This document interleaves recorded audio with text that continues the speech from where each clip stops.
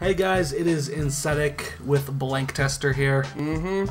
Mm-hmm. Mm-hmm. And welcome to the next game we'll be covering. This is Whiteout. I thought we'd, you know, introduce the winter season with some winter extreme games. So, Whiteout is a 2002 snowmobile racing game published by Konami. Every time you think you've played the last Konami Extreme Sports game, you discover another one. That's like Insetik's 10th flaw by I now. don't think by that should point. be another law. No, it's just something that happens. Yeah, it's just. Um, so you know, it's kind of a standard combination of racing and. Oh man, Corey Feldman. Oh yeah, it's Corey Feldman, guys. Look at that. Oh, it's totally Corey Feldman. Oh man, Corey Wood Feldman. Yeah. So, you know, obviously I'll introduce the gameplay and stuff when we get there, but we're gonna jump right into career mode. Every uh, every person has you know different strength and ability stats. Strength is how easily you get pushed around. Agility is how well you do tricks, like how fast you do them. All right.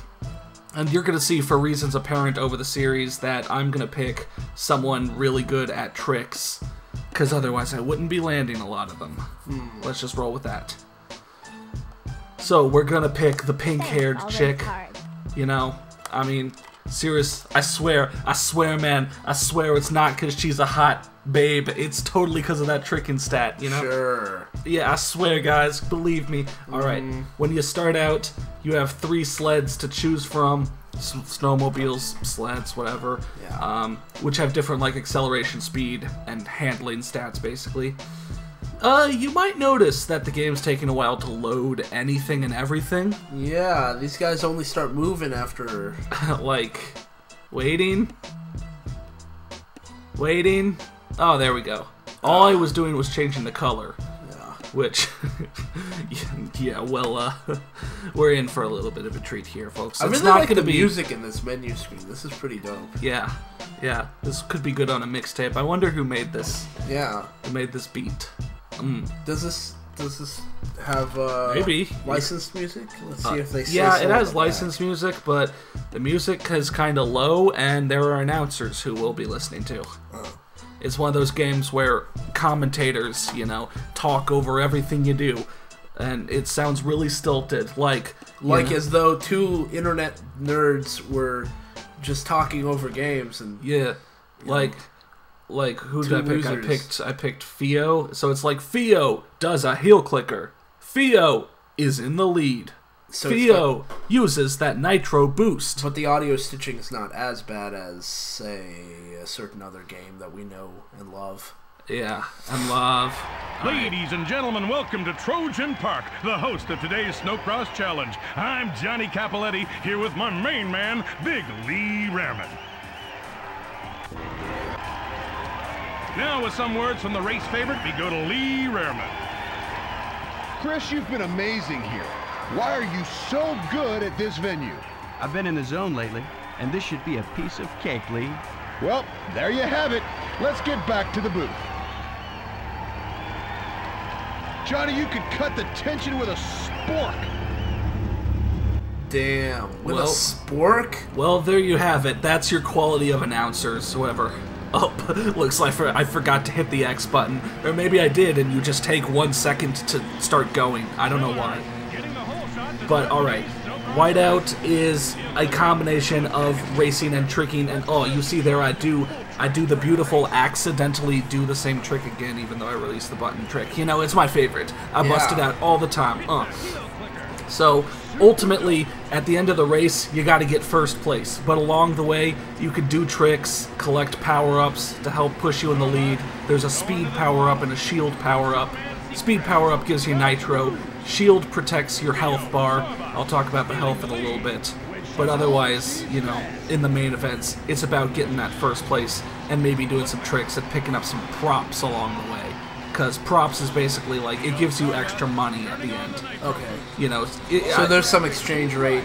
yeah, I mean, you saw, you know, you bought a sled at the start. You're gonna buy new parts for your sled. You're gonna buy new sleds. So you uh, win races and do lots of tricks and you know do a little bit of level and interaction with stuff you can knock over, and you get more money there. It seems like your sled has really, really, like, it seems really sensitive.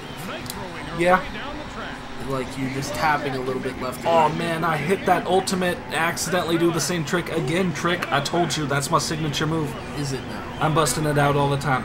All right, so let's look at the things that are on your your HUD. You know, you see your lap and the total time in the race and such. Your place. Yeah, your place, the props, a little mini map of the course on the bottom right. But then you see the health bar, and health either doesn't matter at all or is really important because you suddenly just lose it all and die. Not die, I mean you'll just you know reset and keep going. But if you Sorry about that. If other riders bump into you or you bump into the walls or such, your health bar kind of goes down, and if it goes all the way down, you you know fall over and get reset. And that's based on your strength stat, how much you how resilient you are to getting Yeah, hit. except of course, you usually if you run into something, you're running right into it, or you don't finish a trick anyway, and so you're gonna crash anyway. And so health means nothing except for when sometimes you just you and an AI just get caught up on each other and it just drains and you fall over. So really, so really, in, in most of the time, you don't want to be hitting anybody anyways. Yeah. So your strength stat doesn't really mean anything because the times you do hit things, you're just gonna crash anyways. Yeah, it, yeah, it's one of those games, and so you see, I pick, I'm picking up the boost pickups, which you can store up to three of those, the nitro boosts. That's kind of nice. yeah, and then you hit the circle button, at least on PS2, to use it, and you get a bit of a speed boost, and it blurs your screen. Now, actually, in this video recording, the screen blur looks okay, but when Yeah, I'm playing it it on my TV, it looks horrendous. I cannot see where I'm going. Maybe it has something to do with the frame rate or something. Yeah, maybe. The checkered flag comes out. Theo Sorba wins. Amazing. We got some bonus racing coming up after this, Johnny.